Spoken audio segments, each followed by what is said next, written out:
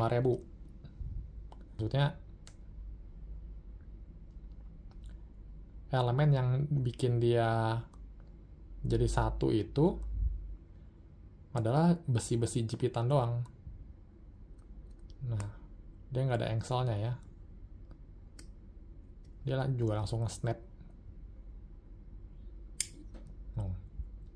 langsung nge-snap dia ya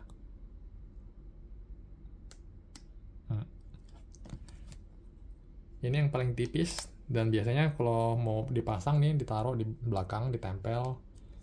Setiap phone holder ini dia ada 3M nya ya. Jadi ditaruh di sini. Ini bisa didiriin. Diriin seperti ini. Atau nanti didiriin landscape. Nah seperti ini ya. Sama-sama bisa berdiri sih sebenarnya ini lumayan sih.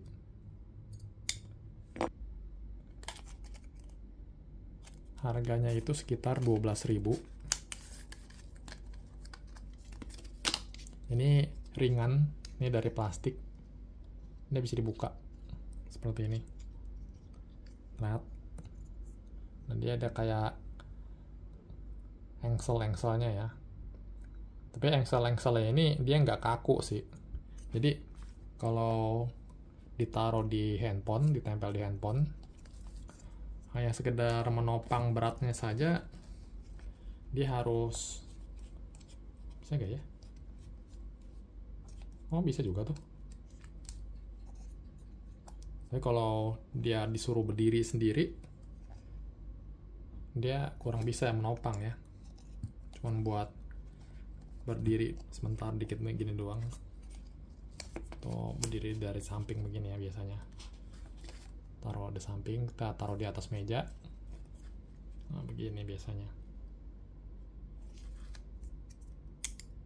Tapi cukup ringan dan bentuknya cukup rapih ya.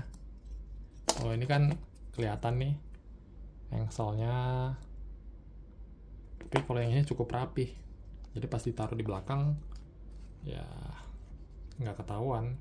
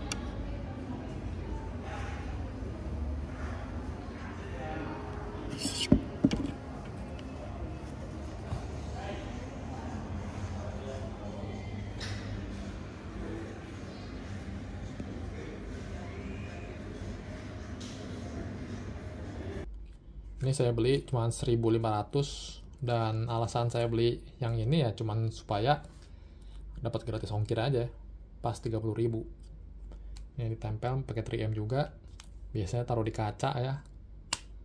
Tapi kalau yang kayak begini sih kayaknya kurang ya.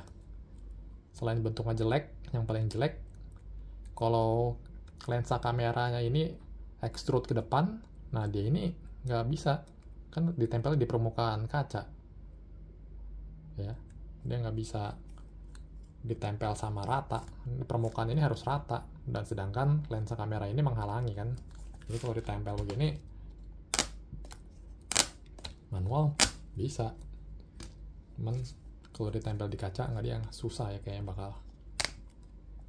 Ini sebenarnya bisa juga dipakai di laptop. Buat bawahnya laptop ditaruh begini. Ya anggap aja nih kalau di laptop Nah, dudukan laptop seperti ini ya. Kalau ada dua, bisa buat laptop. Tapi kalau buat handphone juga bisa. Jadi, kita taruhnya seperti ini.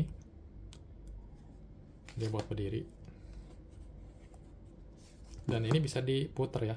Ini ada rotationnya. Nah, ini bisa ada rotasi. Jadi kalau mau berdirian handphone, ini juga bisa. Ini tapi saya rencana nggak pakai ini di buat di handphone sih. Paling nanti taruhnya di iPad supaya iPadnya bisa rada berdiri sedikit ya. Jadi seperti ini iPadnya posisinya nggak jatuh. Cukup bagus sih ini. Nggak terlalu berat juga. Ini bahan bahan plastik sih sebenarnya cuman pakai lapisan stainless chrome jadi lumayan kelihatan cukup bonafit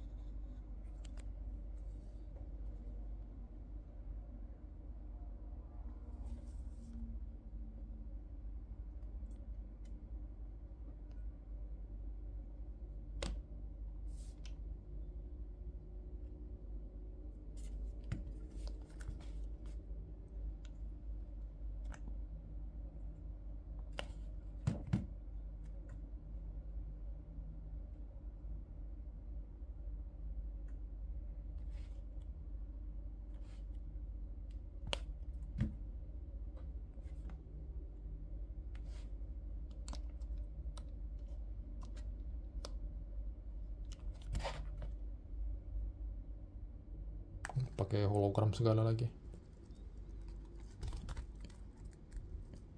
Ntar saya buka dulu ya. Oke sudah terbuka. Ya ini yang ini paling berat. Nah tapi engsel-engselnya ini kaku ya. Nah iya nih kaku engselnya nih. Dia bisa buat didiriin dan ini kaca bukan ya? Oh iya loh ini kaca. Bentar saya buka dulu saya peel eh? Oh bukan. Bukan kaca ya. Kirain kalau ini kaca lebih bagus nih. Ini kalau ditempel di sini oh ini nggak bisa diputer ya oh ya ini nggak ini nggak bisa ada nggak ada rotasinya ini tapi kalau misalnya di tempel di belakang wah ini kaku kaku sangat kaku bisa ditempel taruh eh eh eh, eh. taruh begini hmm. pasti kalau mau didiriin bisa setengah jebret taruh begini dia bisa berdiri. Nyamping begini. Taruh begini. Atau kalau mau didiriin nah dia bisa. Jadi yang ringan dan cukup membantu adalah yang ini ya. Yang pertama. Kalau yang modelnya cakep yang ini. Nggak kelihatan kayak ya kalau dari sini yang buat iPad kalau buat untuk saya yang cocok tuh yang ini ya. Yang untuk iPad. Nanti ini saya pakaiin ke Samsung S2